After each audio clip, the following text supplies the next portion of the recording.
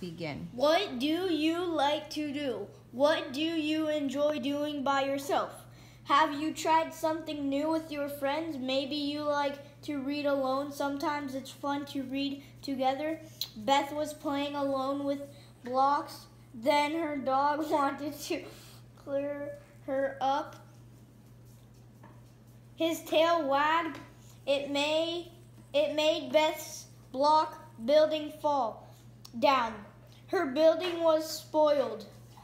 But Beth was happy. Two friends were having fun together. They were playing a game.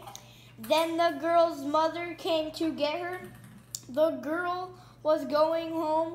What will the boy do now? A birthday is a good reason to be with friends. A cake and some presents are for a party. Everyone has